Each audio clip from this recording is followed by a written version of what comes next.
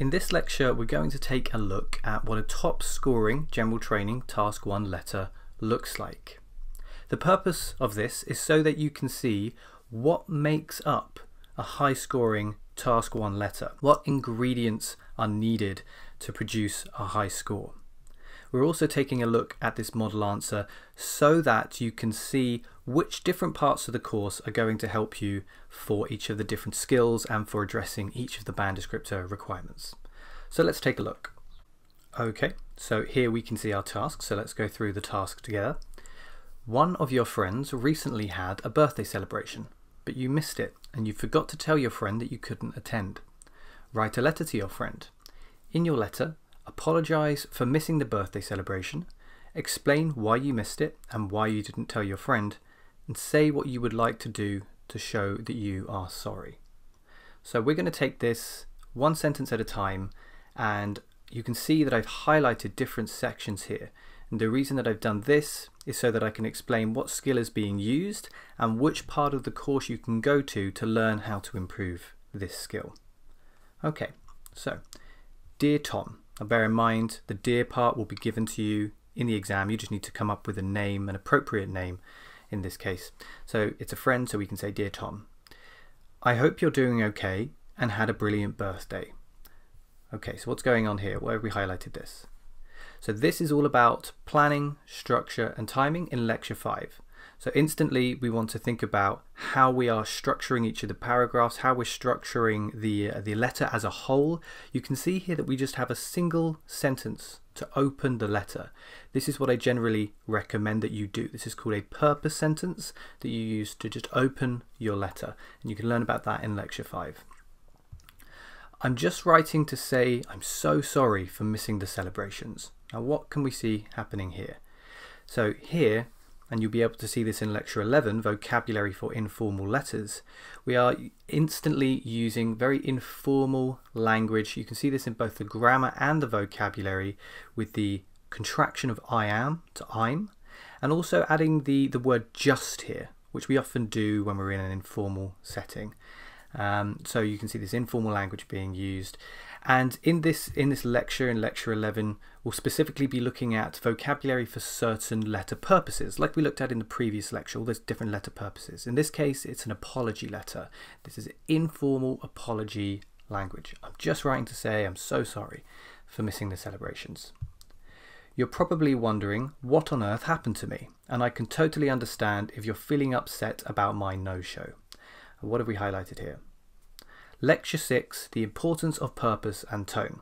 This is kind of similar to the point I made a moment ago, but whereas before we were thinking about vocabulary, here in lecture 6, which is actually after this lecture, we're just thinking about how to address the task achievement requirement for an appropriate and consistent tone. Um, so here we know that we're in an informal letter. You've got you're probably wondering what on earth happened to me. This is idiomatic language that we're beginning to use here. What on earth? You probably wouldn't write this in uh, in an in a formal letter. You might in a semi-formal letter, depending on depending on the recipient. But uh, yes, we know that we're in an informal letter here, and we're using appropriate language with what on earth. And you can also see that here in my no-show as well. My no-show, very informal language. I feel awful not only about not warning you beforehand, but also for not having written sooner. What are we doing with this word here, warning? How to maximize your vocabulary score. we'll learn about this in lecture 14, and it's really all about paraphrasing and avoiding repetition. And I've specifically highlighted this word, warning, because we've made the effort to change the language of the task. So up here you can see we've got the verb tell down here, we've got the verb warn. It's actually even more specific than tell as well. It contains more meaning within the word. So that's in lecture 14. Next paragraph. The thing is, without boring you with the details, I've been put under a huge amount of pressure at work to finish a certain project within an unreasonable time frame. What have we got going on here? The thing is, useful cohesive devices, lecture 9. This is coming to coherence and cohesion. And uh, what we're doing here is we are introducing the paragraph in a way that kind of links with the previous paragraph. It also introduces a thought using a particular expression. So a cohesive device will link ideas together in a very natural way and you can learn about those in lecture 9. Again, you can see this informal language without, without boring you. I've been put under a huge amount of pressure. Okay, let's move on to the next sentence. I've had to pull a few all-nighters and it was these that prevented me from coming to your party. Okay, we've got two highlighted expressions here. Let's have a look at the a few. The reason that we're looking at this is because this is an instance where a lot of people would make the mistake of dropping the article and uh, this is a common grammatical error. Article usage is a, a common feature of grammatical errors and you can learn about common grammatical errors in lecture 18 as well as how to avoid them. As for the second part, we have the word these, and uh, these is a demonstrative pronoun.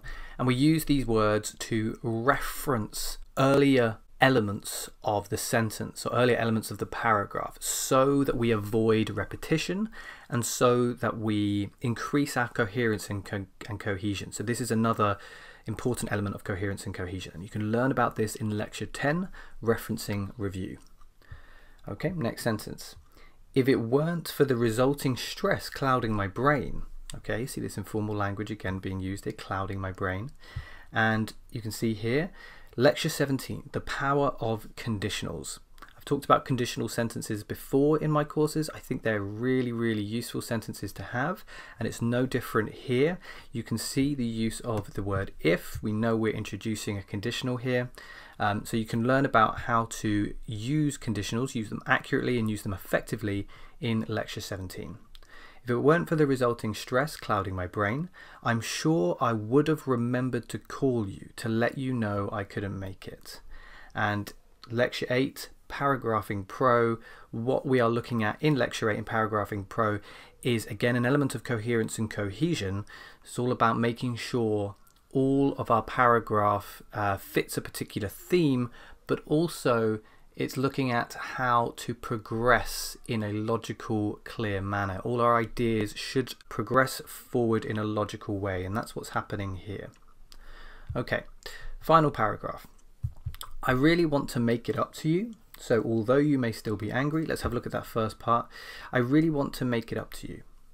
Lecture 7, Bullet Point Brilliance. So this again look, is looking at task achievement, so it's in this section here, Lecture 7, and this is basically just about making sure that we address all parts of the task, not most parts of the task, but all parts of the task, particularly those bullet points. So up here you can say, say what you would like to do not just that, but to show that you are sorry. So some people say what they would like to do in this task, but they don't explain that they're doing it to apologize. We need to show that we are sorry. So this, this language here, to make it up to you. To make it up to someone is to do something to show that you are sorry. So I really want to make it up to you allows us to address those bullet points and you can learn about that more in lecture 7. So although you may still be angry, now I've highlighted the word although because this allows us to introduce an element of a complex sentence. Complex sentences are important if you want to achieve a band 7 or above. There needs to be a range of sentence types and they need to be accurate as well. So using accurate complex sentences in your letter you can learn about in lecture 15. So although you may still be angry, I hope you'll accept this attached concert ticket by way of an apology. What have we got here? different letter types, lecture 3. That's what we've already just looked at in the previous lecture. We were looking at the different letter types, but also the different purposes of a letter. We know that we're in an apology letter here. It's totally clear that this entire letter is based around an apology, so there's no ambiguity there. I have the other ticket, and you know how much fun we had last time we went to see these guys. What's going on at the end here? Lecture 16, How to Use Punctuation Effectively. At the end here, you can see that I've used an exclamation mark. An exclamation mark is probably only going to be appropriate in an informal letter, um, but it is something that you can use to show your understanding of various punctuation. You don't really get the opportunity to show your understanding of exclamation marks, of ellipses, uh, and other punctuation in task 2, but you do get that opportunity in task one a little bit more if you're doing the general training. So you can learn about that in the grammar section in lecture 16. We finish with hopefully speak soon and my name Matt. And uh, you can learn about sort of these salutations and endings also in the vocabulary section as well. One final point to make before we finish up here. You probably can see the word count down on the bottom left here. Just bear in mind that that word count also includes the task. So the actual response here is not 256 words. If we take away the salutations or at least the, uh, the beginning and the name at the end, we can see we have a word count of 189. Um, so that's a little bit more than I would recommend if you can make it a little bit shorter because that will give you more time for task two and more time for checking your work. But if you're pretty confident with your writing and you write pretty quickly anyway, then don't worry too much about going a little bit over the word count I recommend. And we're going to look at word counts uh, and timing and things like that in the lecture after this one.